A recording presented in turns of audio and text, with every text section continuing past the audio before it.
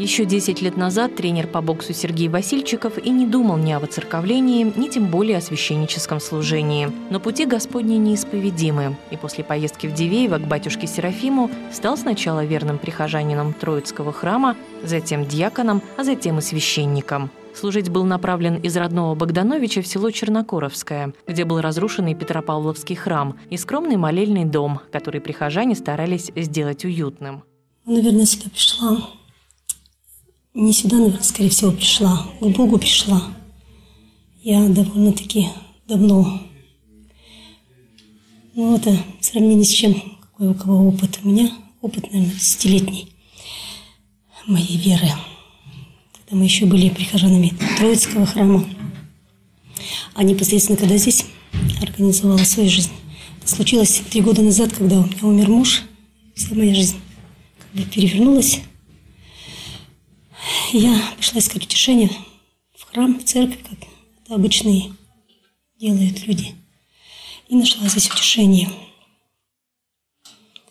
То есть моя жизнь сейчас полностью здесь. Помощников было немного, но те, что были и есть, дали бы фору десятерым. Необходима помощь людская, потому что не в состоянии просто мы всю работу эту нести. Но может, многие люди считают, что здесь, э, да, многие так считают, что живут батюшка с матушкой, это же их дом. Я говорю, подождите, это не только их дом, это наш молебный дом. Это наш храм, где мы, в общем-то, десятка, которая у нас, э, значит, есть, это, что мы должны здесь все-таки нести какие-то свои обязанности, послушания каждый. Тогда было бы легче гораздо и оставалось бы время больше свою личную жизнь какую-то такую домашнюю. Вот у меня вот практически нет времени на домашнюю жизнь. Спасибо моим детям, они все-таки живут со мной и ведут это хозяйство. Я прихожу домой только отдыхать помещении молельного дома тепло и уютно. Узнаем, что делать летний ремонт, штукатурить, белить и красить пришлось тоже Вере Михайловне. Мужских рук на приходе мало. Да и женскую работу батюшкина помощница делает умело. Нам довелось попробовать ее пирогов. Времени абсолютно не хватает. Настолько она у меня заполнена сейчас, эта жизнь наоборот, заполнена полностью, заполнена всем интересным. Я узнаю много о Боге, я учусь. Мне все это очень-очень интересно. А жаль, не хватает, конечно, времени вот вот, чтобы почитать побольше православной литературы. Фильм какой-то там посмотреть. По прав... Ну, вообще нет, не хватает на это времени. Потому что постоянно все. Заботы, заботы, заботы. О нашем благосостоянии нашего прихода. Чтобы дети в школу не шли понуро, а буквально бегом бежали, к этому тоже пришлось усилия приложить и матушке Людмиле, и Вере Михайловне, которая еще успевает вести кружок в сельском клубе. Ну, конечно же, у меня еще и работа есть, которой тоже даю время. Я занимаюсь с детьми, работаю в Доме культуры, веду кружок.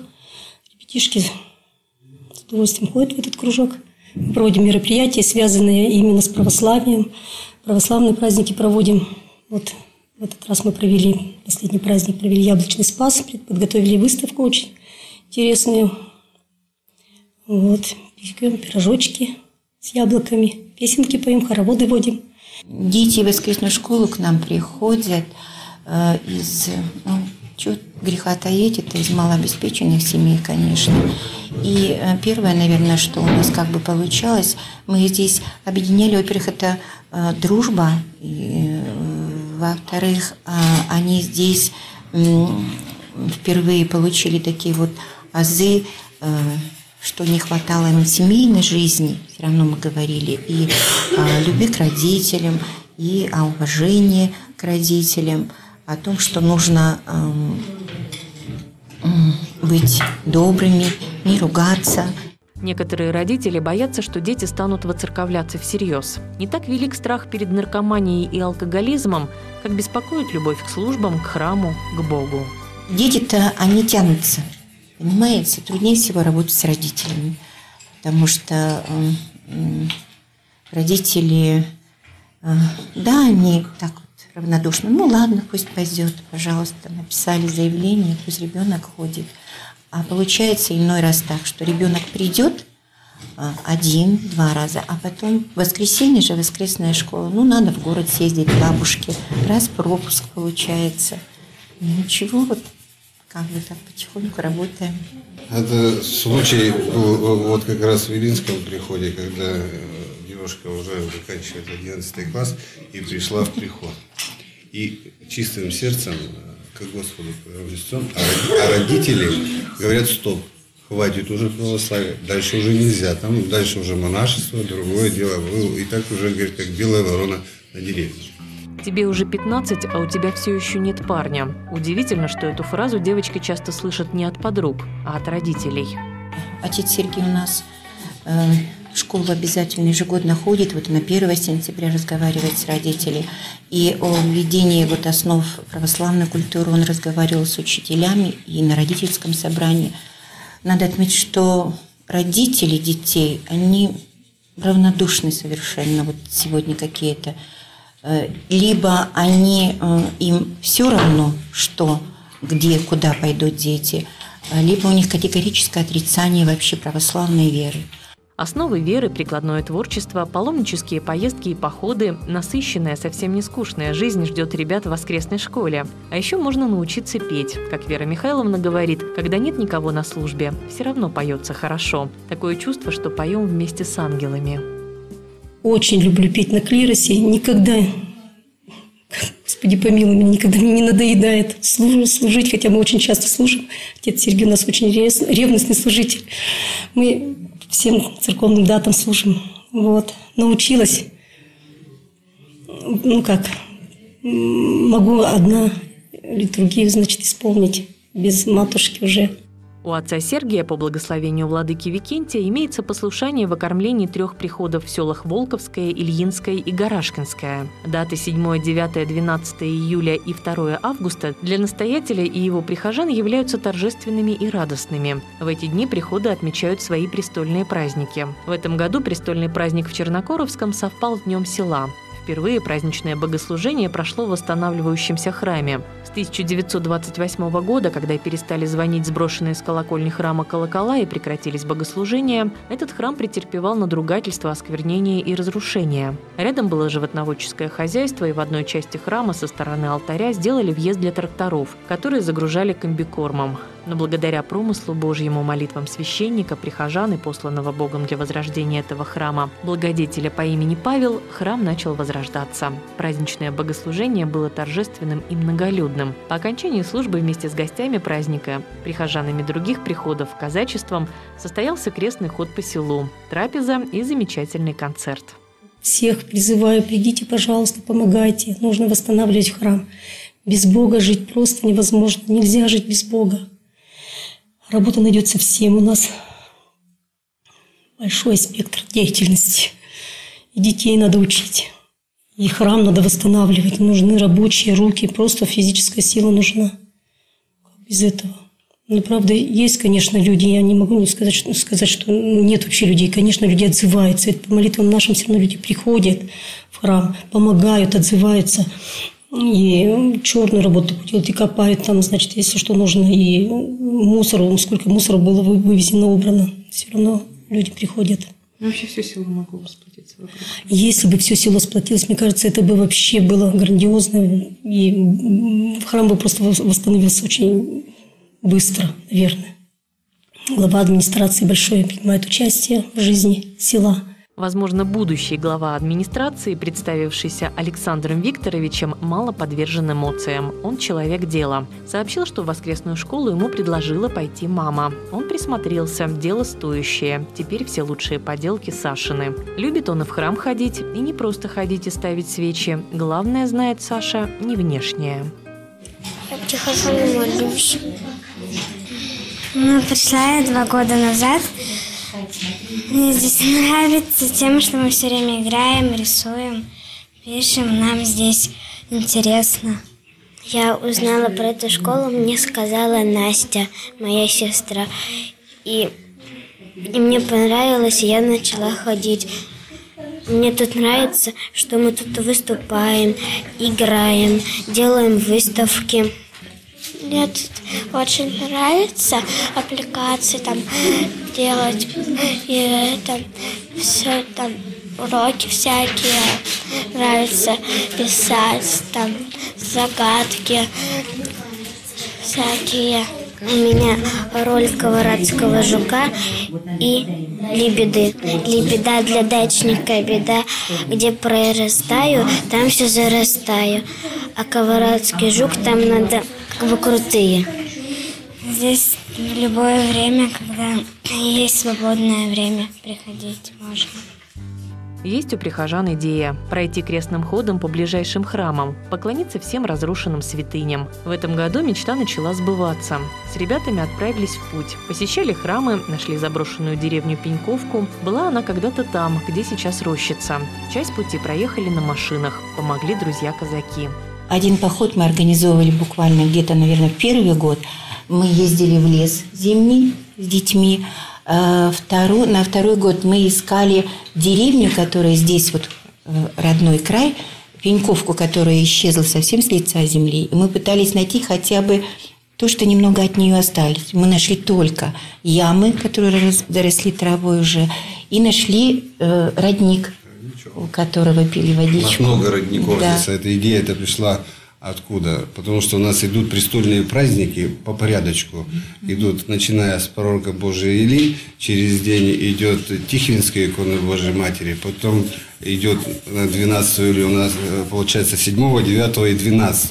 Как раз вот мы по этому вот пути готовимся пойти так вот черновой маршрут, чтобы когда-то, когда у нас мы созреем, будем так говорить, пройти этим крестным ходом, вот так по этим всем приходам, по всем престольным праздникам, и ребят приобщить к этому делу, э, и вернуться, как говорится, к празднику Петра и Павла как раз к нам сюда, и пройти одновременно все приходы наши приписные.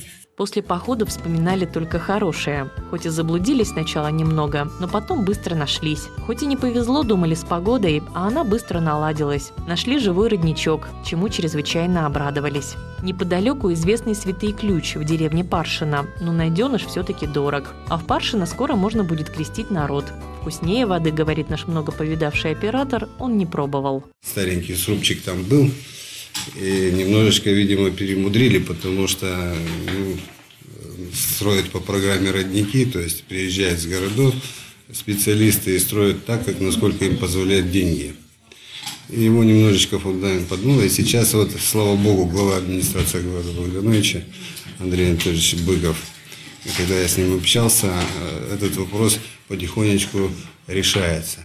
О целебной силе родника говорят с давних времен. Когда-то по старому сибирскому тракту конвоировали этап арестантов. Слабый здоровьем дворянин был явно не жилец, и начальник этапа приказал бросить его умирать неподалеку от деревни Паршина. Нашла его одна сердобольная женщина, приютила и выходила. Его раны она обрабатывала родниковой водой и поила его. Они быстро зажили, и здоровье арестанта пошло на поправку. Вернувшись домой, он в знак благодарности выслал денежные средства на строительство часовни у Паршинского родника. Часовня впоследствии была разрушена. 23 июня 2003 года родник был освящен архиепископом Екатеринбургским и Верхотурским Викентием. Продолжается спасение родника. Строятся планы по его дальнейшему благоустройству, а также возрождению Николаевской часовни. Столько планов и дел на приходе, и всем селом не сразу переделаешь. Просфоры пеку, потому что просфор должна печь женщина, незамужняя, а я вдова. Вот. Ну, тоже учусь всему этому. Вообще все три года, конечно, я учусь. Учусь жить по-православному. Потому что мы все равно из мира пришли, и нам очень сложно научиться вот всем вот этим тонкостям, а здесь же нужно иерархию соблюдать. И дисциплина как-то должна быть особая такая, не просто как в миру. Вот нам это все сложно. Матушке тоже сложно, наверное. Вот. Но учимся. Спасибо отцу Сергию, он нас наставляет. Наставник, он очень нас строгий. Спуску нам не дает никакого послабления. Редко когда похвалит. Хотя знаем, что он доволен нами. Он никогда этого нам в общем редко покажет, чтобы мы не возгордились Вся приходская жизнь, пока храм с 2006 года восстанавливается, идет в молельном доме. Здесь живет семья священника, здесь занимаются дети. Живет приход просто и дружно, как семья батюшки. Друг без друга, конечно, никуда. Всегда везде все вместе. Матушка, спасибо ей большое. Она у нас большая умница. Без нее мы тоже никуда. Все она нас умеет делать. Она очень умеет красиво оформить выставки оформить просто вот какую-то нашу незатейливую вот эту комнатеночку, она может как-то так вот, видите, все вроде и скромно, но все как-то хорошо, это все она умеет. Я вот черную работу делаю, там мою, стираю, там, даже не стираю, ну, мою, в общем, штукатурю, белю и все. А она вот это все может расставить, все красиво поставить. Вот это у нее не отнять. Дети у них, два сына, внуки, приезжают на праздники. Мы здесь устраиваем семейные праздники. Недавно мы вот юбилей с ней справили. Вот сначала мой, потом ее. Приезжали гости, все здесь печем, стряпаем. В общем, живем все одной семьей. На этом месте храм стоит уже более 200 лет. Последние 80 безбожных изуродовали, но не сломили. Старые храмы можно только взорвать, да и то не всегда получалось. Здесь теплушка была исторически. Отапливался Никольский предел. Вот он, э, алтарная часть у нас, видите, вырисовывается. Вот здесь, я вам говорил, однорукий человек это все сделал. Вот. А здесь э, печечка, да? И э, печечка вот здесь одна. Мы уже, они уже функционируют, затапливай, пожалуйста, и все. Перегораживаем вот так вот Петропавловский предел, поставить две двери тамбур, и можно служить. Жители села, хоть и не все одобряют возрождение, но не препятствуют и даже не прочь вернуть церковное добро. А вот эта решеточка, история такова. Металлисты ее утащили у меня – вот. А у нас участковый был такой тоже православный человек в отпуске где-то, Сергей Петрович, вот, Демин. И наши же чернокуровские и успели половину отрезать, вот видите, вот. Но вернули, вернули и, и обещали нам э, сделать решетки. Ну вот не дождусь никак. Это вот где-то еще вторая половинка была, это с южных врат были две половиночки открывались, э, защищали южную часть этого нашего храма. Эта икона святителя Николая долгое время находилась в частных руках. Когда о ней стало известно священнику, он поехал к владелице с просьбой вернуть икону в храм. Та на отрез отказалась. Батюшка поехал домой ни с чем. Остановил звонок. «Приезжайте, забирайте икону». Она была темной, лик едва просматривался. Впоследствии сама обновилась и теперь заняла подобающее святыне место. Боковой предел вот это Николая Чудотворца. А перед самой революцией историческая справка говорит о том, что э, хотели сделать еще и святителя Митрофана второй предел. Но вот, вот здесь. Но не получилось. Уже, видимо, революция помешала уже ну, что я могу сказать? Здесь была кочегарка. Видите, закопченные все. Стены копченые, черные. Здесь была кочегарка. Вот. Ну, естественно, все поры там и так далее. И все фрески практически отпали, вся штукатурочка. Сохранившиеся святые изображения в храме не давали покоя. Высокий купол был недоступен для безбожников. Достать до него могла только пуля. Вот фресочки, которые остались еще у нас. 12 апостолов в проемах между, между храмом. Осталось, вот видите, царь Давид остался гусли. Напротив царь Соломон, сын его. Остальные я уже не могу просмотреть. Не могу просмотреть, они испорчены, потому что не было крыши. Икон, вот эти фресочки, опять же, молва народная говорит, гласит о том, что стреляли в них, в них пулевые отверстия, во всех видно расстреляны, голову, туловище. Вот видите, даже у царя Давида вот в груди расстреливали. И поговаривают, что кто стрелял, срикошетила пуля. Это были военные, помните, когда в колхозы приезжали солдаты на уборку, то, и это кто-то из офицеров стрелял, не уточнять не буду, это так люди говорят. Вот, и был даже, по-моему, ранен. А молва, опять же, народ гласит, что те, кто кресты срубал, вот эти, я вам показывал, это. Было в 1938 перед войной, перед войной, и говорили эти два мужчины, один на следующий же день в этой в Калиновке реке утонул, а второй э, не доехал даже до фронта. Перед войной.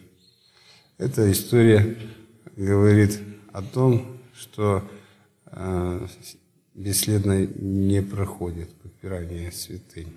В общем-то и своим равнодушным отношением к происходящему мы попираем святыни. Мы просто не замечаем того, что происходит вокруг. Это нас не касается. Впрочем, мы иногда загораемся энтузиазмом, но порыв оказывается недолгим. Ведь и вся семья Бубенщиковых когда-то помогала восстанавливать молельный дом.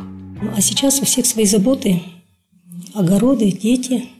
В общем-то, некогда все говорят, что некогда.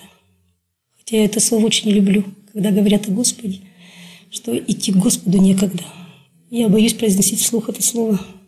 Как это к самому Господу идти некогда? Нужно находить время, исполнять заповедь Божью, приходить в храм в воскресенье. И Господь все подаст, абсолютно все. И время подаст, и деньги нам подаст, и благосостояние наше обеспечит. Все Он нам даст, Господь если будем молиться. А в силу молитвы я уверовала за эти три года. Она мне очень помогает молитва. Очень. Что бы только не попросил у Господа. Если он считает, что мне это полезно и нужно, мне обязательно это дает. Нам Мария Михайловна рассказывала, что люди произошли от Бога. Там кто первые люди произошли. Как Я уже хожу два года. Мне тут нравится.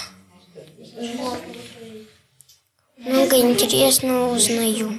Как Бог мир создал. Первый день он свет создал, второй небо, звезды и луну. Потом он создал речку. Потом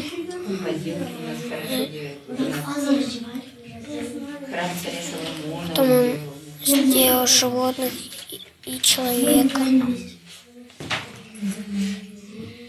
А потом отдыхал. Про иконки, то, что когда вот в церковь заходишь, и надо помолиться несколько раз и присылать иконку в уголочке где-нибудь. Быть добрым, потому что если вот если злым, его никто не любит, не уважает. А доброго человека все уважают, любят. Мне кажется, что так и должно быть. Так и должно быть, когда меняешь жизнь, становясь на сторону добра, меняется и отношение ко многим привычным вещам. Мне кажется, очень изменилось отношение. И у меня к миру, и у людей ко мне отношение тоже как бы изменилось, потому что я как бы отделилась от всего. От того, что вот от прежней той жизни, которой занималась раньше. То есть я и работала так, как мне нравилось, с своими эмоциями, с своей энергией. Общалась с родственниками, справляли юбилеи, праздники разные, все. Я от этого от всего отошла. Вот как-то не то, что мне это стало вот, ну, чуждым, а просто как-то, не знаю, может быть, это все вот православно вытеснило вот это все. Не, не, не хочется мне вот этого. Не то, что я их перестала любить там или еще что-то. Нет, я их всех так же по-прежнему люблю. И так мне хочется, чтобы они были со мной здесь вместе. Вот.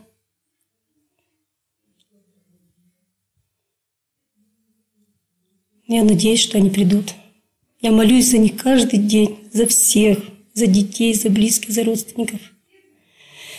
Очень хочу, чтобы они все сюда пришли. Что сейчас нужно храму, батюшка? Молитва.